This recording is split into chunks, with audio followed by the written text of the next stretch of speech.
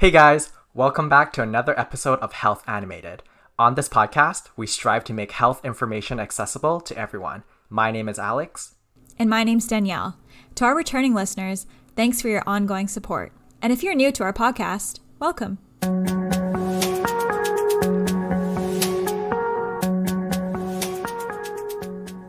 Today, we're going to talk about a health topic that has affected my life growing up, and perhaps even some of you guys out there who are listening, and that topic is acne. So, Alex, did you know that 85% of people between the ages of 12 and 24 are affected by acne? I mean, I had a feeling that it would be a high percentage, but 85% is pretty insane. Yeah, I mean, I was the one that pulled that stat, and I still think it's mind boggling. Because this affects so many people, we turn to our awesome family and friends and ask them what kind of questions they wanted to know about acne.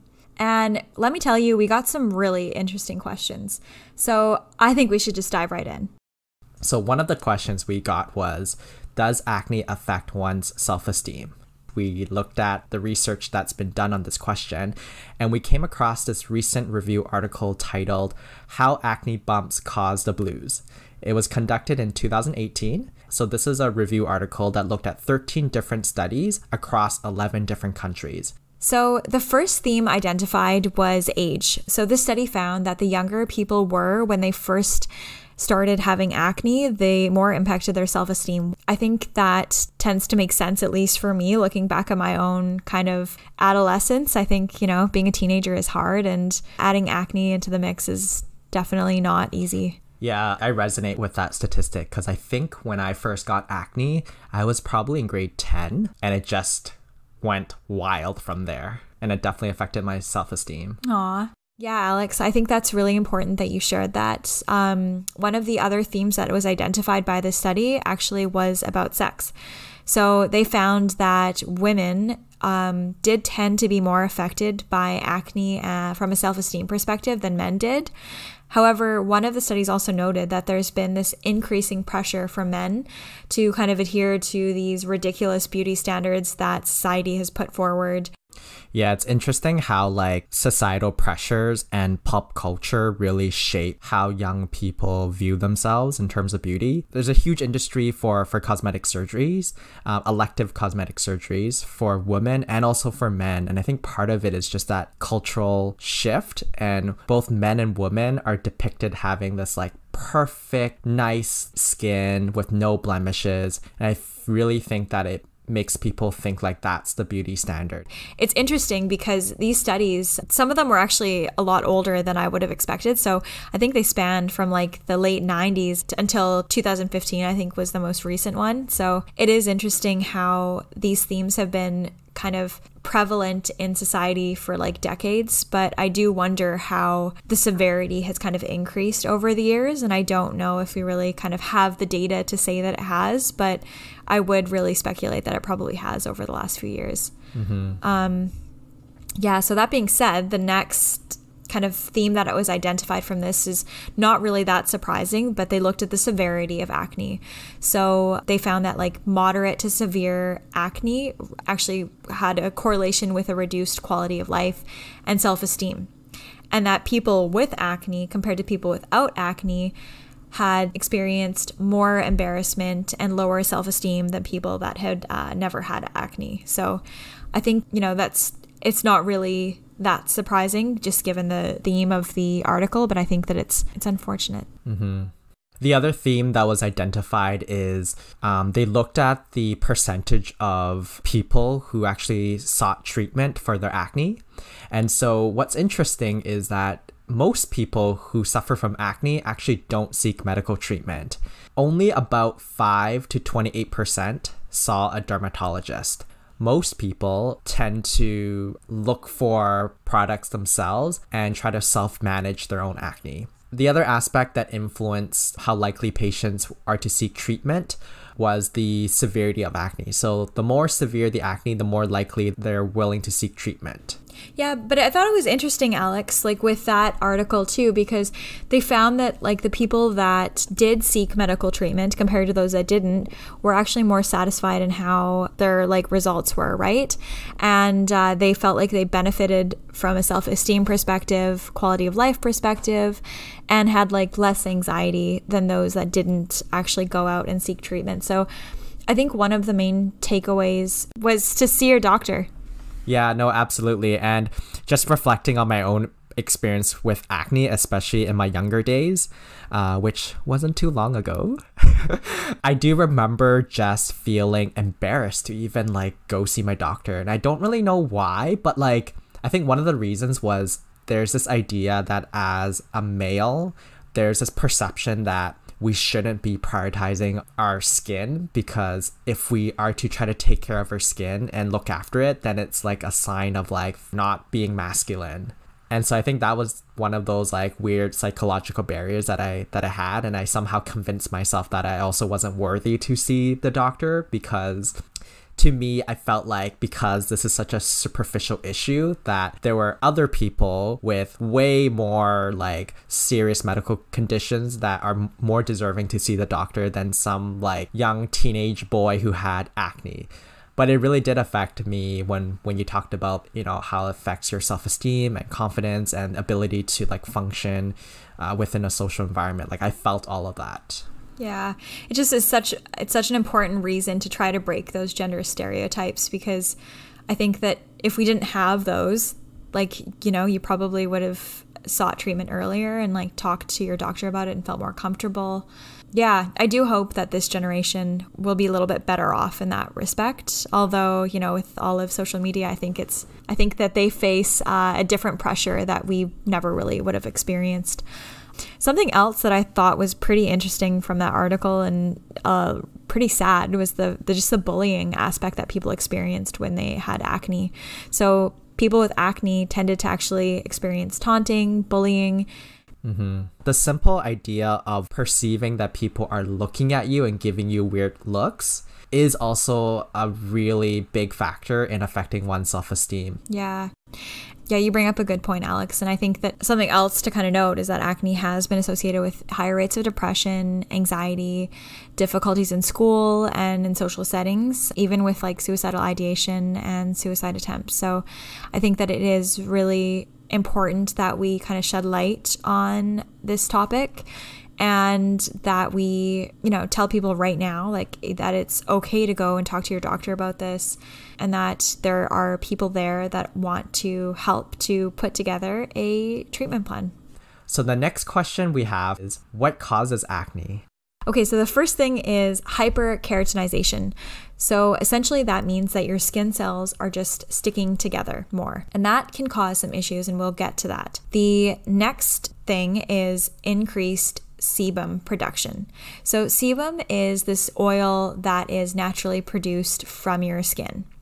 So, the third factor is a bacteria that's called Cutibacterium acne. So, hyperkeratinization, so your stickiness of your cells, increased sebum production, and the bacteria kind of creates this perfect storm where these three things can just go up and clog that follicle. And that kind of creates the acne plug. The fourth factor that kind of produces acne is also inflammation, and that inflammation is related to the bacteria that are on your skin and that plug that's happened. So, you've probably heard of the term as well whiteheads and blackheads. Really, it just has to do with is that plug open or is it closed? And that depends on if it is clogging the whole follicle or if it's not. So that's kind of acne in a nutshell. So those four different factors that contribute. So when we're looking at how to treat acne, we want to look at managing those four factors. We'll get into that a little bit later. Okay, on to our next question. So, ever since COVID, I've been breaking out around my jawline due to wearing a mask for long periods of time. What's going on? And I know, Danielle, you have firsthand experience with maskne being a healthcare provider in a hospital setting. Yeah. Okay. So maskne is, yeah, definitely something that I've experienced uh, this pandemic. So for those of you that are not familiar with the term, it's kind of a hybrid of a mask and acne, thereby calling it maskne. So essentially, what happens is you can get breakouts in the area that your mask is on. So a lot of people will actually notice it's kind of like in an O around your mouth, and then some people can even get it kind of along their um, cheeks. So really, wherever the mask is kind of touching. So, maskne is actually a type of acne mechanica. And as the name suggests, so mechanica, it cause it's caused by mechanical irritation. So, really, what's causing this mechanical irritation? It's your mask. So, usually, normally, when you have mechanical irritation, you want to try to remove the offending agent. But with masks, we cannot do that because they're very, very important right now during this pandemic. So, what we can do is to try to manage uh, what type of mask we're choosing. Um, so, I will get to that in a moment. But the other kind of factor with um, maskne is the fact that you are wearing this mask all day and it's creating this humid environment underneath your mask. You probably notice that it feels a little bit kind of warm in there. So that humidity can actually cause your skin to swell up and it can clog your pores. And it can also lead to changes in the sebum production. So, one of the four factors that causes acne and it can also impact the bacteria that live in our skin. So it's kind of just a perfect storm for causing acne. But because masks are so, so important and we need them to stay safe right now during this pandemic, we need to figure out how do we kind of minimize this. So the first thing is to make sure that you're washing your mask daily. Uh, so treat your mask like your underwear and make sure that you wash it every day because that's kind of the key to making sure that we don't have this extra kind of bacteria kicking around, that there's um, kind of nothing else going on, and also just for good mask hygiene because we want to make sure that we don't have any virus particles on it, right? So the next thing we want to do is we want to try to minimize friction of the mask. So this can actually be done by making sure that the mask fits us really well. So when we're talking with the mask, we want to make sure that it's not moving around a whole lot because we don't want it to be kind of chafing against the skin and causing that mechanical irritation. And the third thing is just making sure that we choose a really good comfortable fabric. So Cotton is uh, kind of the fabric of choice right now from a protection standpoint. Cotton is also being recommended. The three layer cotton masks right now is what's being recommended in Canada. And uh, that is uh, important as well because it's a breathable fabric but some people will still notice that their skin's really sensitive so if that's if that's you and you're noticing that the cotton's kind of chafing up against your skin you can also sew a silk lining inside the cotton mask but don't go for a, a, silk mask because they're not as effective against um, virus particles and that's really what you want to use the mask for. So yeah i definitely have um, experienced maskne at uh, in the last few months and it just has to do with the fact that we're wearing masks all the time. So i've tried to also minimize kind of my my makeup as well with that i'm wearing to work now so i'm really just moisturizing and uh, not not uh, using a lot of other things that'll clog up my pores just because the masks are already already kind of doing that for me. Um, okay, so the next question that I am gonna ask for that came from our friends and family is, and I'm sure a lot of you can relate to this, just it being a pandemic and all.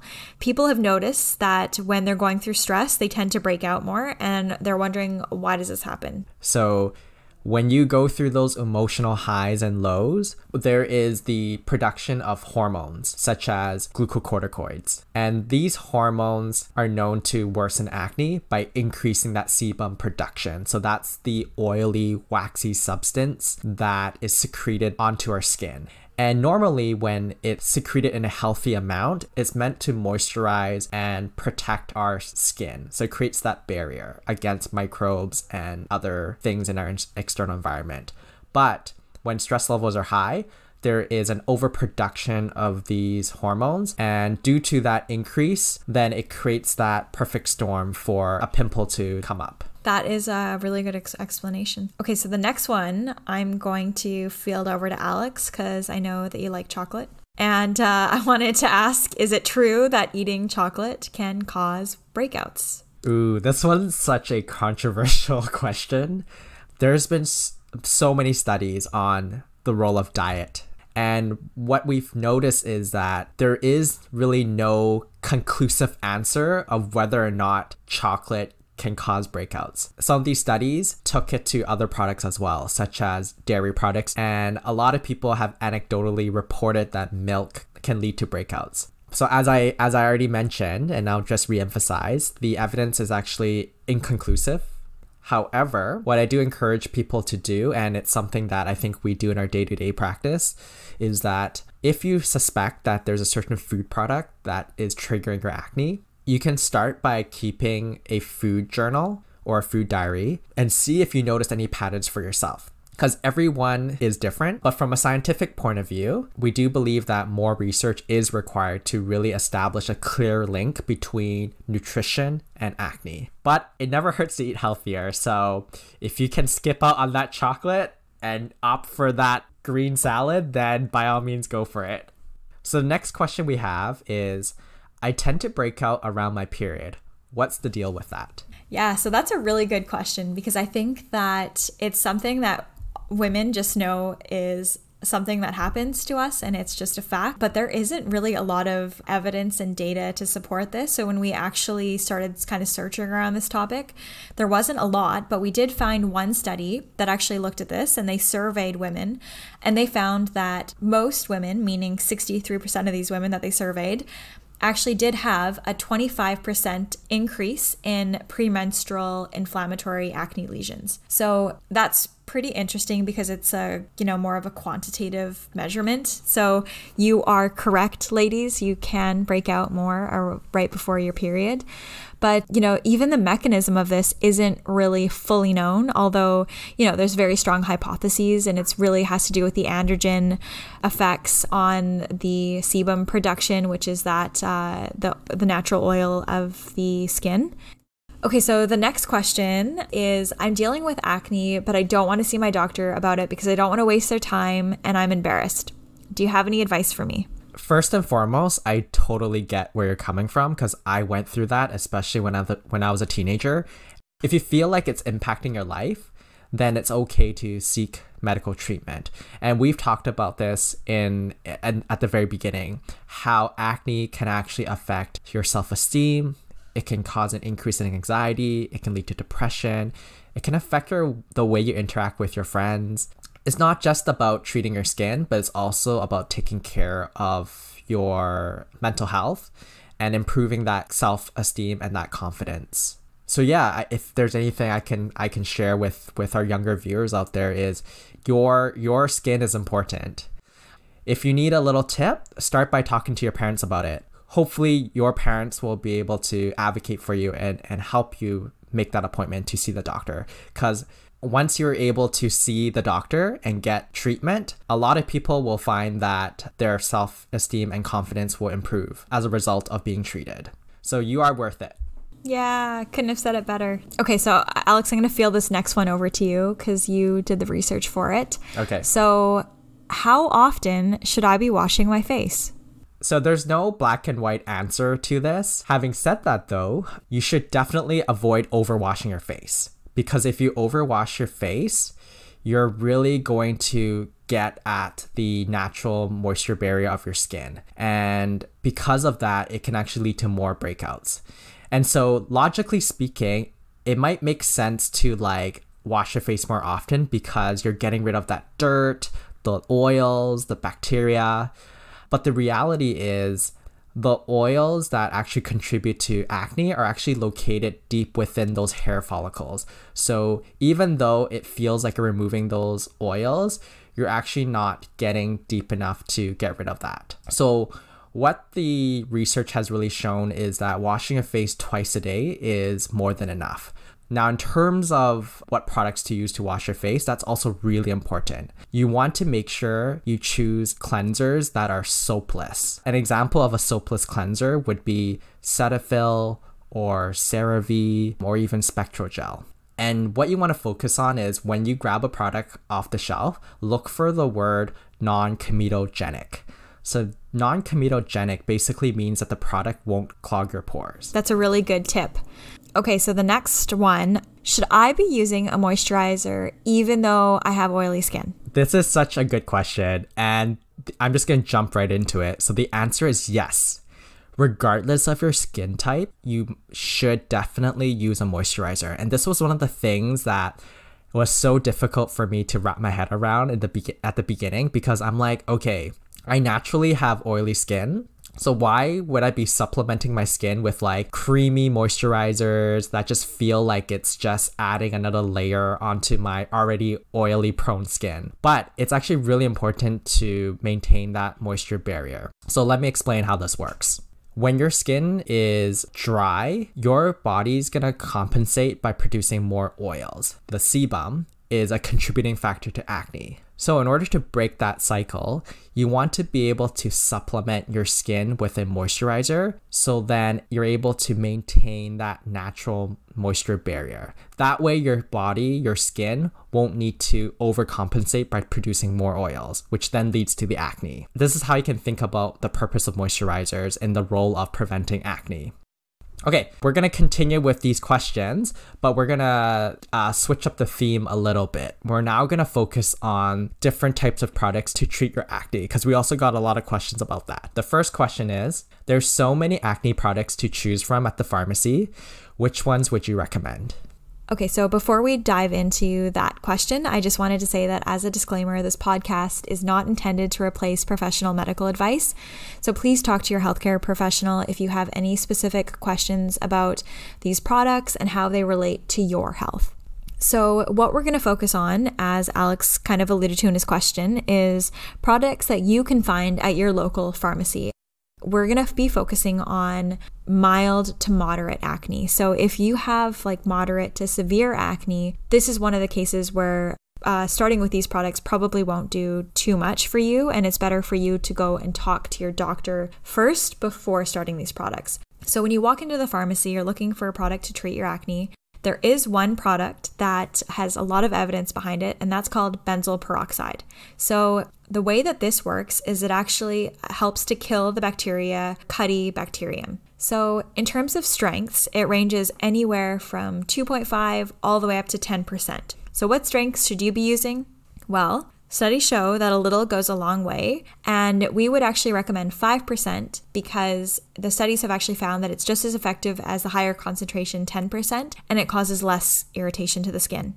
From a side effect perspective, it can irritate the skin, and it can also stain and bleach your fabrics. So, this is actually a really important one. When we were growing up, my mom can probably attest to the fact that we had a lot of bleached towels from washing our face after using benzoyl peroxide. So, just something to note. So, make sure that you kind of manage that with your towels and your pillowcases. From an effectiveness standpoint, people could actually start to see improvement within five days, but usually it takes about three months before you're going to start to see the full effect. And after that three month period, you can actually see a reduction in the number of acne lesions from anywhere between 21 to 52%, which is pretty impactful. So, Alex, do you want to walk us through if I have sensitive skin, how should I apply any kind of drug product, including benzoyl peroxide.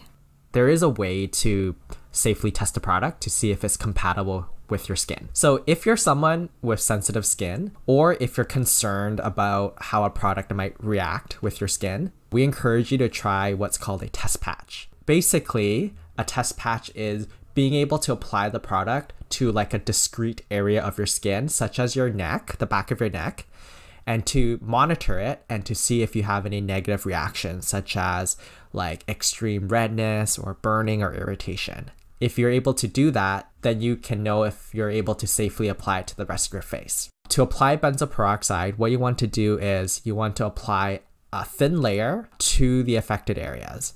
And let me explain what I mean by affected areas. So, you might think that you should just treat the spots that are visible, the pimples that are visible, which for sure it will get at those pimples if you do spot treatment. However, what's more effective is if you actually recognize the zones on your face that are impacted by acne. So even though you may notice like areas of your skin that are clear, you still want to apply that medicated product to that zone if you know that that zone is prone to a breakout. So, an example of a common zone is your T zone area. So, T zone area refers to your forehead and the area that's sort of between your eyebrows and like closer towards your nose. Once you've applied the product for the very first time, you don't want to keep it on forever. So for benzoyl peroxide, you want to just leave it on for a couple of hours to start, and then you want to wash it off before you go to bed. So this is going to be like a nighttime routine. And then gradually, as you start to tolerate the product, you want to increase the amount of time you leave it on for until you're able to leave it on overnight as this method gives your body the time it needs to adjust. If you're overly like aggressive or you're impatient like me sometimes, you might have a higher chance of experiencing the side effects, which includes like the redness, the dryness, the flakiness.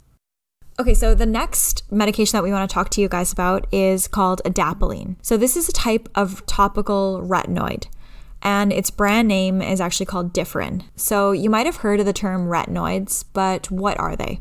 Well, retinoids are a class of medications that are structurally related to vitamin A. And when these are applied topically, they can actually increase the turnover of your cells and therefore they prevent them from sticking together. So you remember that the stickiness of the skin cells that can contribute to acne is called hyperkeratinization. This class of medications can prevent hyperkeratinization. So, the studies have actually shown that adapalene can reduce acne lesions anywhere between 33 and 64% after three months. So, Typically, what people will do is they'll start off with benzoyl peroxide or adapalene. If they have not experienced benefit after three months, they'll either switch to the alternate product or they will try using those ones together. So, some things to keep in mind when you're actually starting this product is that because it, it works to increase the skin turnover, in the first week, you actually might see that your skin looks like it's worse. And why that is, is because essentially all of the acne is kind of being pushed up to the top of your skin. So you're going to see it more in that first week. So please do not be alarmed. Don't say, oh my gosh, this thing is the worst. It's not working at all. It just made it worse.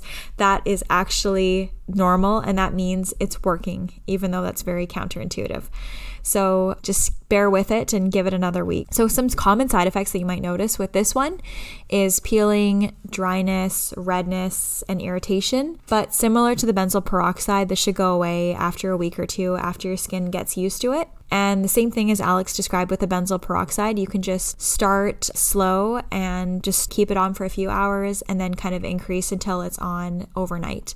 If you do notice though that you experience any of these side effects that they're just they're really irritating or they're not going away, then do talk to your pharmacist or your doctor about it. Another side effect that people notice with this product is that it can make their skin more sensitive to the sun. So sun sensitivity. So it's really important that you make sure that you're putting on sunscreen with this product and wearing a hat. And also it can also help to manage this by applying it at night. Similar to what Alex said, try that test patch if you're somebody that has sensitive skin. It's just best practice really.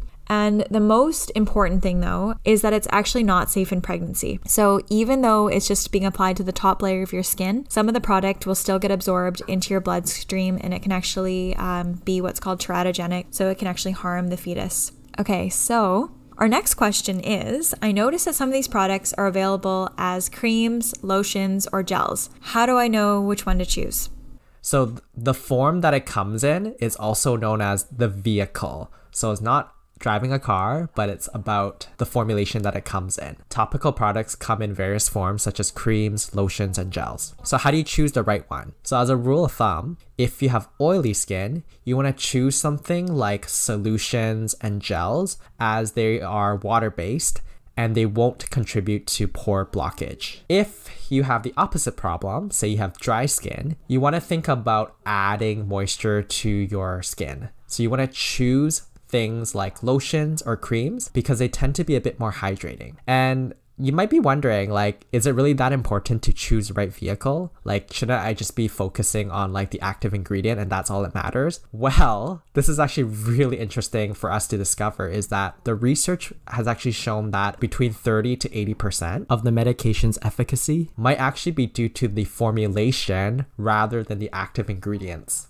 uh, the next question I want to throw back to Alex because I know, Alex, you've had a lot of people ask you this question when you worked in community, and that is I have scars from my acne, and is there anything that I can do about them?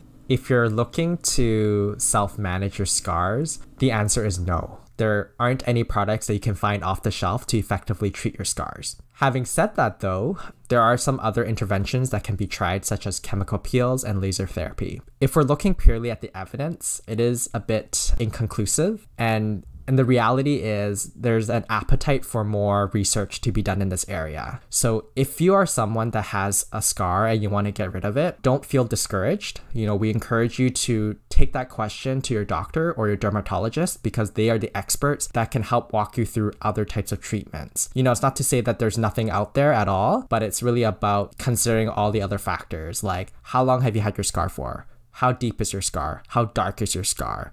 How big is it? So, that would really help to set the expectations on the type of outcome you might get from these other interventions. So, the last question we have is What are your thoughts about pimple patches? Well, this is very interesting because before we did this podcast, I had no thoughts about pimple patches because I didn't know about pimple patches. So, if you're like me, why don't I explain what a pimple patch is? So, these are small circular patches that typically contain hydrocolloid. And uh, hydrocolloid originally started off in, in band aids. So, what they had noticed is that it would help to kind of improve the healing time of wounds. The whole proposed mechanism of using these pimple patches that are made of hydrocolloid is that they just help to kind of absorb the fluid from the pimple. There was only one study that we could find, and it was a randomized, double blind trial of 20 patients that either use the patch or they just use tape.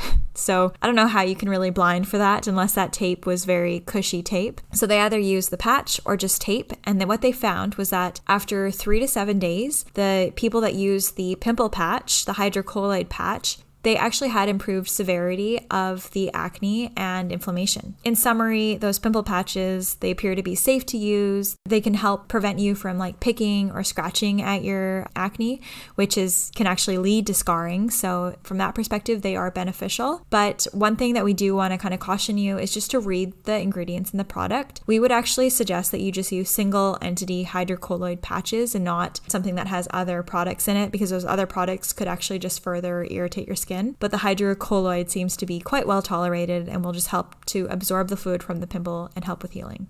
So, those are all the questions we had about acne. Uh, we really hope you enjoyed this episode because we certainly had a lot of fun researching this topic and sharing with you what we found. If you enjoyed this episode, we really appreciate it if you can share this with your family and friends. Thank you guys so much for tuning in to this week's episode of Health Animated. We'll catch you guys next week. See you guys. Bye. Bye.